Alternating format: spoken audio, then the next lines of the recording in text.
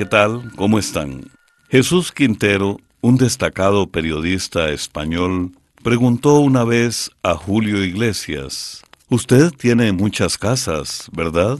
Así es, respondió el cantante. Pero dígame, volvió a preguntar Quintero, ¿dónde está su hogar? Julio no supo qué responder. Las casas son las construcciones. Nosotros llegamos a sus hogares a través de... Oigamos la respuesta. ¿Cómo están amigos? Bienvenidos a nuestro hogar y el de ustedes. En un nuevo capítulo del Instituto Centroamericano de Extensión de la Cultura. Comprender lo comprensible es un derecho humano. En el programa de hoy sabremos por qué la tierra huele cuando se moja. ¿Por qué las libélulas golpean el agua? Un oyente nos pregunta acerca de Diego Armando Maradona, el gran futbolista argentino ya fallecido. Con estos y más temas nos disponemos a compartir con ustedes un nuevo espacio de Oigamos la Respuesta. Comenzamos con el señor Alger Álvarez. Él nos envió un mensaje desde Rivas, Nicaragua y pregunta, ¿por qué la tierra huele cuando se moja? Oigamos la respuesta. Ese olor tan especial que sentimos cuando caen las primeras lluvias después de un tiempo de sequía, que en nuestras tierras llamamos olor a tierra mojada, se conoce también como petricor. Esta palabra, petricor, fue usada por primera vez en 1964 por dos geólogos australianos que publicaron un artículo en la revista Nature. Esos geólogos usaron la palabra petricor para hablar del olor que produce el aceite que sueltan algunas plantas en tiempo de sequía. Ese aceite queda retenido o embebido en algunas piedras del suelo. Entonces, cuando la lluvia cae, ese aceite queda libre en el aire. Pero además ese aceite se junta con otra sustancia química que producen unas bacterias que se encuentran en el suelo que se llama geosmina, que también tiene su propio olor. Aparentemente, la mezcla entre los olores del aceite y de la geosmina es lo que produce ese delicioso olor a tierra mojada que tanto nos gusta. Vamos a contarle que en otra investigación que hicieron después estos mismos geólogos australianos, demostraron que estos aceites aromáticos retardan la germinación de las semillas y el crecimiento de las plantas. Esto los hace pensar que las plantas sueltan o exudan estos aceites para evitar que las semillas germinen en épocas de sequía, porque tendrían menos oportunidad de nacer.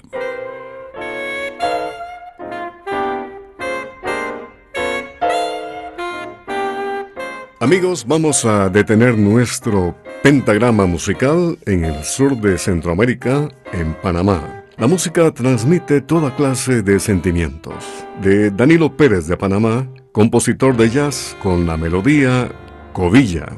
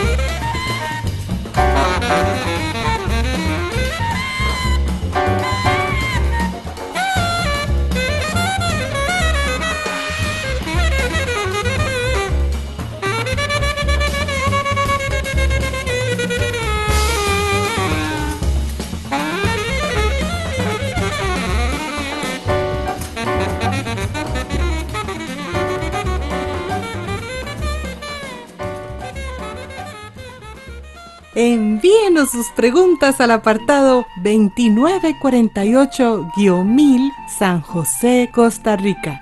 También nos puede contactar al correo electrónico isq.org o encuéntrenos en Facebook como Oigamos la Respuesta. Estamos de regreso luego de la música y el señor Alan Araya Ulloa nos ha enviado un mensaje por medio de WhatsApp desde Capellades de Alvarado en Cartago, Costa Rica y nos dice lo siguiente. En mi casa tengo una plaga de caracoles y nos da miedo por la enfermedad o microbio que transmiten.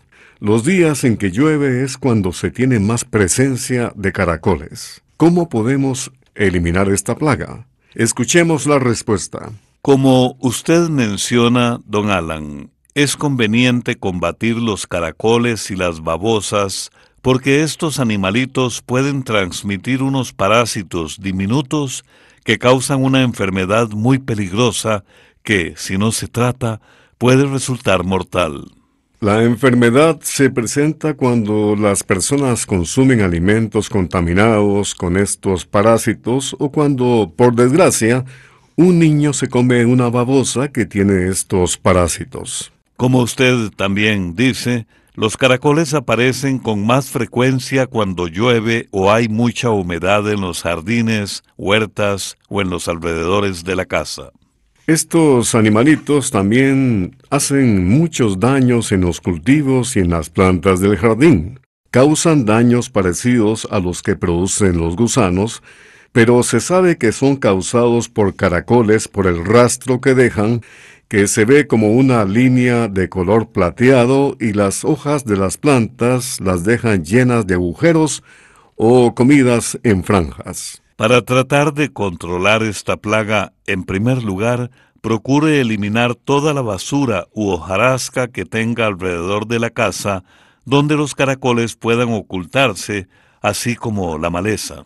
Además, conviene aumentar el espacio entre plantas para permitir que pase bien el aire y así reducir la humedad que estos animales necesitan. Después, Trate de recoger los caracoles a mano, eso sí, usando guantes. La mejor manera de encontrarlos es salir a buscarlos durante la noche usando un foco o linterna o muy temprano en la mañana, que es cuando se encuentran más activos. También puede ponerles trampas, puede poner pedazos de yuca peladas, picadas y amontonadas. Esto va a atraerlos y así puede deshacerse de ellos. Además, puede poner trampas hechas con latas de cerveza vacías. Se les quita la parte de arriba a esas latas, se entierran para que queden a ras del suelo y se les pone un poquito de cerveza en el fondo. Los caracoles se van a sentir atraídos por la levadura de la cerveza y al caer dentro de la lata no van a poder salir y se ahogan. Si con estos consejos no logra deshacerse de la plaga de caracoles, puede poner cebos venenosos que se consiguen donde venden productos para la agricultura.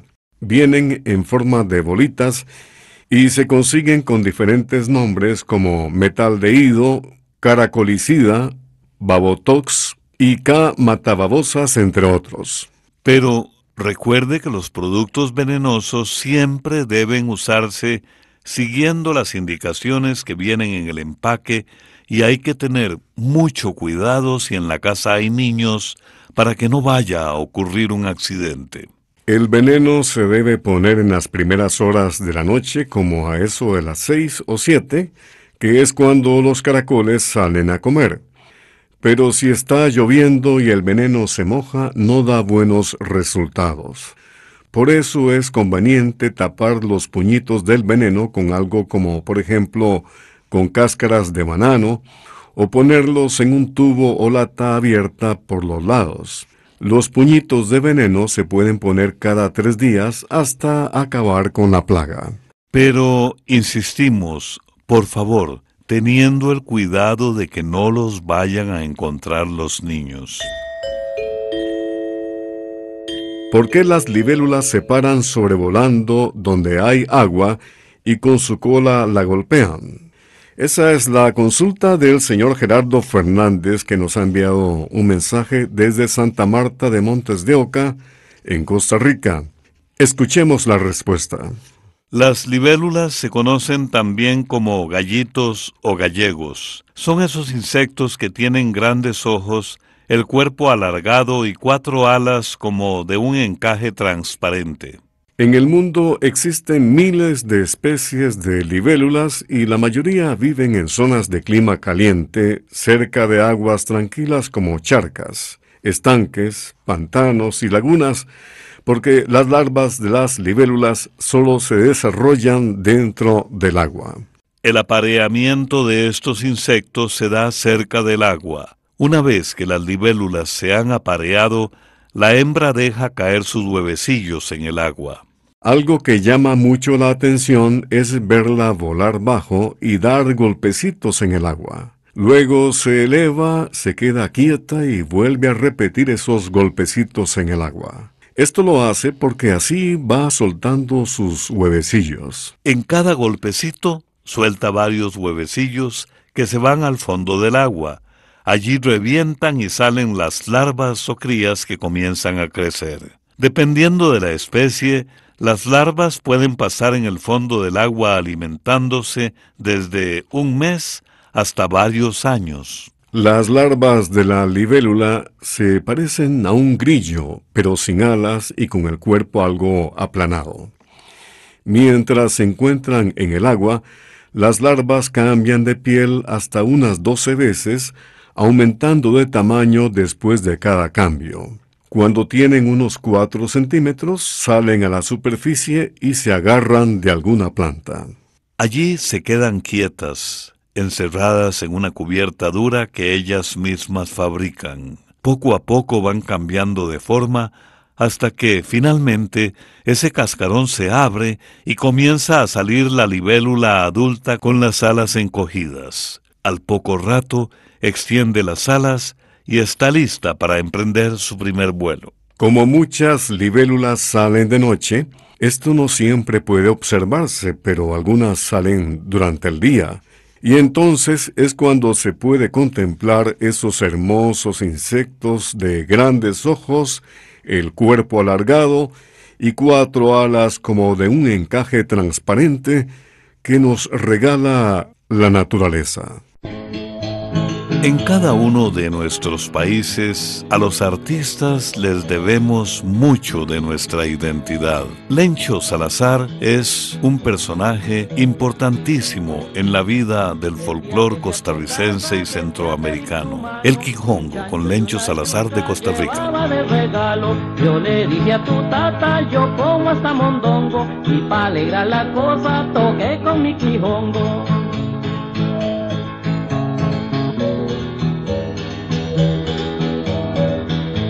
Se le alegró la pata al confiscado viejillo y se pegó una risa con solo aquel colmillo. Tu mamá en la cocina haciendo un poco de frito y yo tocando duro con este quijonguito.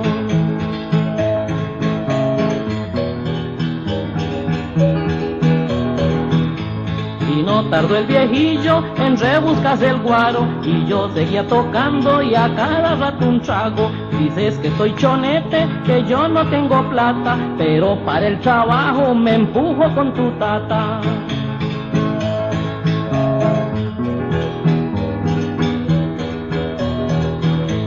Te has puesto muy chiquiona y se te llena el alma. Si no me quieres pronto voy a perder la calma. Me voy con mi quijongo a buscar más amores. Me llevo todo el alma llenecitica de dolores.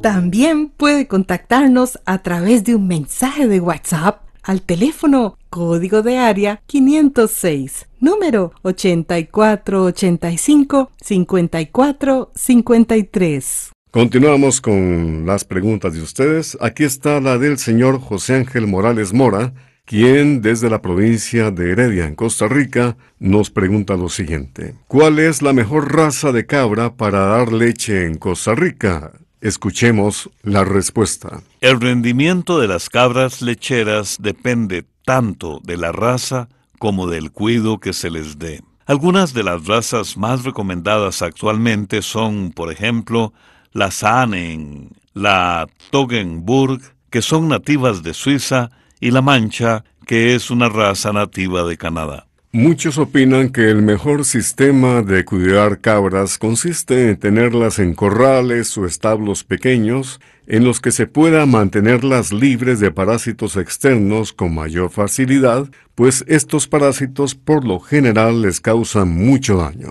Para alimentar las cabras se pueden sembrar plantas como por ejemplo morera, poró, banano o gandul, que pueden sembrarse alrededor del corral. El estiércol de las cabras puede aprovecharse para abonar esas plantas. Las cabras se ordeñan en la mañana y en la tarde. Hay cabras muy buenas que pueden dar hasta 10 a 11 botellas diarias. Para sacarle el mayor provecho a la cría de cabras es conveniente aprender a fabricar productos hechos con la leche, como por ejemplo queso o yogur de cabra. En una villa nación fue deseo de Dios crecer y sobrevivir a la humilde expresión, enfrentar la adversidad, con afán de ganarse a cada paso la vida. Un potrero forjó una zurda inmortal con experiencia, sedienta ambición de llegar de cebollita. Soñaba jugar un mundial y consagrarse en primera. Tal vez jugando pudiera a su familia ayudar. Música latinoamericana. El 25 de noviembre del año 2020 falleció Diego Armando Maradona, el gran futbolista argentino que marcó una senda importante en la vida de este deporte. Un cantautor argentino, Rodrigo, pidió a su cuñado Alejandro Romero que le compusiera una canción sobre el ídolo de multitudes, La mano de Dios. De inmediato a la interpretación de Rodrigo, comentaremos facetas de la vida de Diego Armando Maradona. En un potrero forjó una zurda inmortal con experiencia, sedienta ambición de llegar de cebollita, soñaba jugar un mundial y consagrarse en primera. Tal vez jugando pudiera a su familia ayudar. Poco que debutó la se fue quien corrió. Su sueño tenía una estrella llena de gol y gambetas. Y todo el pueblo cantó. Nació la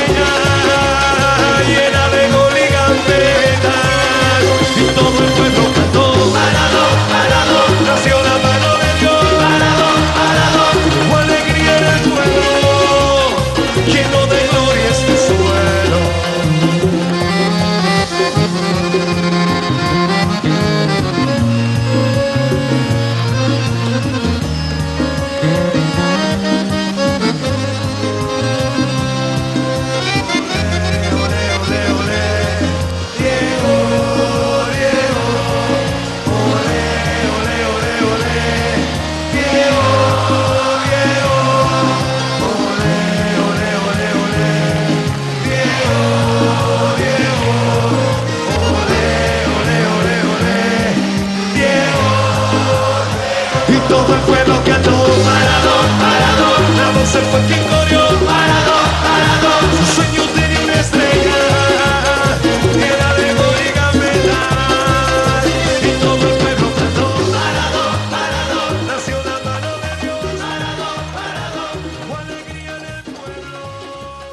Tenemos una consulta que nos llega desde Sarchí, Costa Rica, del señor José Álvarez Salazar, fiel oyente, y dice quisiera que hablaran en el programa de Diego Armando Maradona, el jugador argentino que acaba de fallecer. Escuchemos la respuesta. Diego Armando Maradona Franco nació el 30 de octubre de 1960 en Villafiorito, una localidad de la provincia argentina de Buenos Aires. Empezó a jugar fútbol a los nueve años en las divisiones infantiles del equipo Argentinos Juniors. En aquel entonces, este grupo de niños eran conocidos con el nombre de los cebollitas. En 1976, Diego Armando debutó en la primera división y estuvo con Argentinos Juniors durante cinco campeonatos. Anotó 116 goles en 166 partidos y fue el máximo anotador del torneo argentino en cada uno de esos torneos. En 1979 fue llamado por el entrenador César Luis Menotti para integrar la selección argentina que ganó el Campeonato Mundial Juvenil celebrado en Japón. Maradona fue elegido el mejor jugador del torneo en Japón y por entonces ya se decía que estaba destinado a convertirse en una gran estrella. Luego de jugar dos temporadas con Boca Juniors de Argentina y de integrar la selección que jugó el Mundial de España 1982, Maradona fue contratado por el Fútbol Club Barcelona de España. Estuvo con este equipo durante dos temporadas, pero sufrió una seria lesión que lo mantuvo fuera de acción durante más de tres meses y no pudo brillar como se esperaba. En 1984, Diego Armando fue contratado por el Nápoles de Italia. En ese equipo estuvo hasta 1991 y se convirtió en un ídolo para los napolitanos, ya que el equipo obtuvo dos campeonatos nacionales, una Copa de Italia y una Copa Europea, logros que hasta entonces la afición napolitana jamás había podido celebrar. En esos años, Maradona además se consagró, en opinión de muchos, como el mejor jugador del mundo cuando Argentina ganó el Mundial México 86 y fue subcampeón cuatro años después en el Mundial Italia 90. Lamentablemente, durante sus años como futbolista en Europa, Maradona se hizo adicto al consumo de cocaína. Sin embargo, en Nápoles le habían consentido este estilo de vida por los buenos resultados que le daba al club. Durante el Mundial de 1990, todo esto cambió. Argentina eliminó a Italia y a partir de entonces los italianos dejaron de protegerlo y sus problemas con la droga se hicieron más crudos y evidentes. Llegó el año 1991 y Maradona recibió una suspensión por parte de la Federación Italiana de Fútbol y el Nápoles lo declaró transferible unos meses después. En 1992 jugó para el Sevilla de España y en 1994 integró por última vez la selección argentina en el Mundial de Estados Unidos 1994, torneo en que Maradona también fue suspendido por el uso de drogas. Regresó a Argentina, donde se mantuvo activo hasta 1998, primero con el equipo Newell's All Boys y luego con el Boca Juniors. Su despedida oficial se realizó en el estadio de Boca en el año 2001. En los últimos 20 años, Diego Armando Maradona Franco fue entrenador de varios clubes de Argentina, México y Emiratos Árabes. También dirigió a la selección mayor argentina entre 2008 y 2010, pero siguió teniendo problemas de salud y con las autoridades debido al comportamiento violento ocasionado por su adicción a las drogas, al alcohol y a ciertos medicamentos. Diego Armando Maradona fue hospitalizado en varias oportunidades y su salud se deterioró considerablemente hasta que falleció el 25 de noviembre del año 2020 a los 60 años de edad. En la parte final de este programa, una frase de Diego Armando Maradona, que dice así, Mi mamá me consideraba el mejor del mundo. Así que si ella lo dice, será verdad. Al agradecerles la amable atención que una vez más nos han prestado, les invitamos cordialmente a escuchar mañana en Oigamos la Respuesta por qué las heridas se infectan aunque se cuiden mucho. Sabremos además si el asma se puede quitar y conoceremos la historia del monte Vesubio y Pompeya. Entonces, no se pierdan mañana Oigamos la respuesta. Programa C Control 47. Y así llegamos al final del programa del día de hoy. Los esperamos mañana en este su programa Oigamos la Respuesta.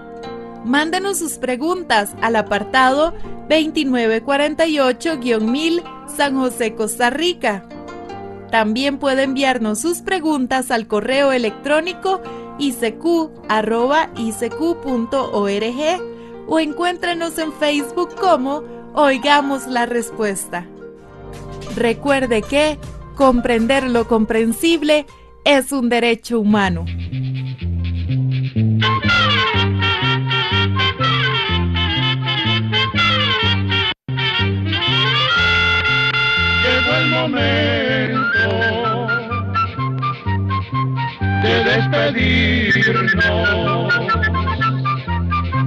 Se va a la escuela, se va cantando